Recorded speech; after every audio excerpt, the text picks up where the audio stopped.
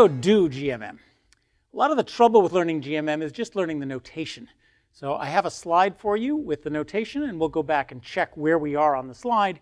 And that uh, is going to be like a little outline for you of all the different things we're going to do. So the notation here is in red, so we can just map ideas into the GMM notation. First task, express your model, and what your model says about the world, as the mean of some function of the data and some function of unknown parameters is equal to zero. That's what we've done in asset pricing. We've expressed our basic asset pricing equation as zero is expected discounted times returns. And I'm going to use B notation for the vector of unknown parameters.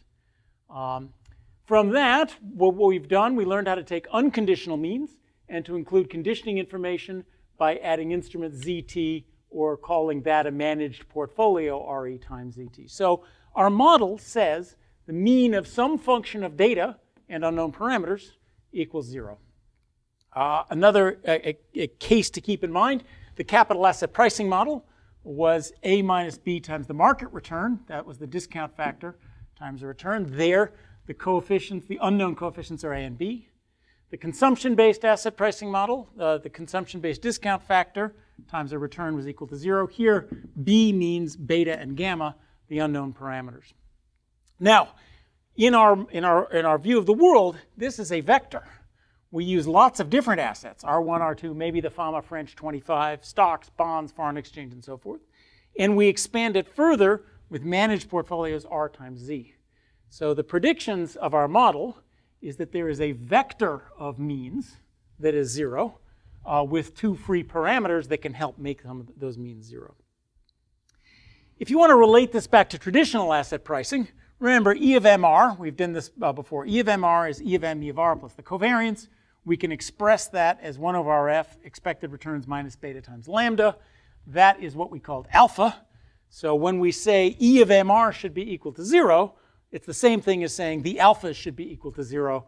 All we're really doing at is just looking whether expected returns line up with betas, the alphas being the difference. We, uh, the model says those alphas should all be 0. So step one, express your model as a vector of moments that should all be zero. Now, those are population moments. These are statements about truth. We have a sample. So the GMM philosophy says, how, how do we estimate population moments? We'll just use the sample counterparts. The E sub capital T in GMM notation, that means uh, the uh, sample mean. So what we will look at is the sample mean of M times R in the place of where the theory refers to true or population moments. So we have three tasks now. Our tasks are to estimate, to find the free parameters, to find sample values, b hat or b sub t, are our best guesses, and we're going to pick those to try to make these moments as close to zero as possible. That's the estimating philosophy. The model says they should be zero. We will set the sample moments to zero as close to zero as possible. Second task, standard errors if you pick estimates that way, what is the standard error of those estimates? Third task, tests. If um, the true is zero, do, are the sample moments that you see after you've done estimation, are those close to zero? Now, they're not going to be equal to zero, but is there deviation from zero just due to luck after we account for the fact that we estimated some parameters to make them uh, equal to zero? So, estimation, standard error, testing, that's what statistics is about. Okay, now let's put that into the GMM notation. GMM notation is we have a vector of moments corresponding to the assets we're going to look at. That's called G of B. That's the, that's the things that should be zero. We also call them sometimes the, the true mean of f of x beta. That is the function of data and parameters whose mean should be zero. We use the notation u for f of x beta, and in our case, that is m times r. So it's in red, that's just all notation. The sample counterparts is g sub capital T. That means the sample mean of the x, the sample mean of, of m and r. Uh, and that is, of course, a function of what parameters we choose to use. So now let's do a GMM estimate. What do we do? The GMM estimation says choose a linear combination of the mo sample moments and set those to zero. We want to set the moments close to zero somehow.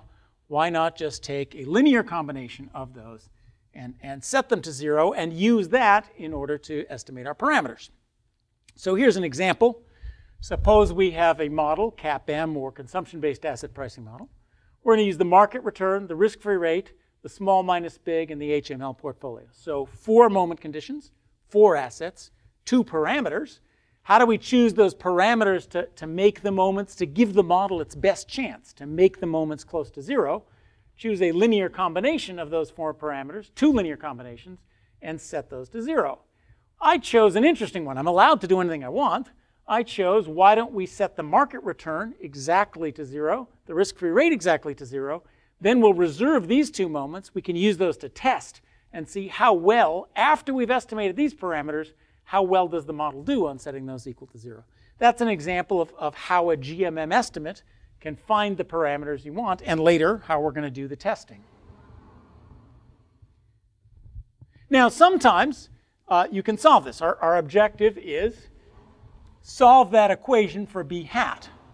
Sometimes that solution is easy. It's just linear. And in this case, if we're doing the CAPM, that's a linear function. So putting that m in, it's just a linear function of these two moments, and you can solve that for a and b analytically. Sometimes the computer has to search.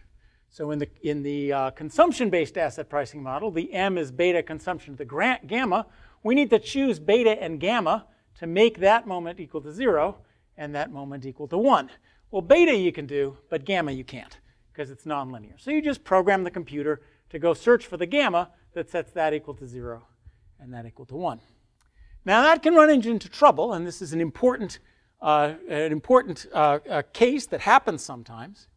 Here I've graphed gamma, the parameter we're looking for, versus the moment. This is the gt of gamma that we're trying to minimize. We want that to happen. We want to choose gamma to set that first moment to 0. If it happens that there is no solution, you're in trouble. The model has to work in some sense for this to work. So beware of that. That's the uh, solution we're looking for. If that happens, then you've estimated gamma.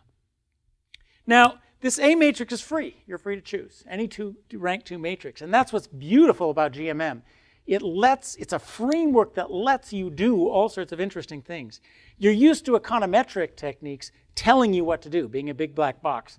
That's not the way this is. This is just a, a beautiful palette of with which you can paint the picture you want to do. That's a very flexible tool. Another comment is, is uh, it's okay also to do exact identification. We don't need over-identification.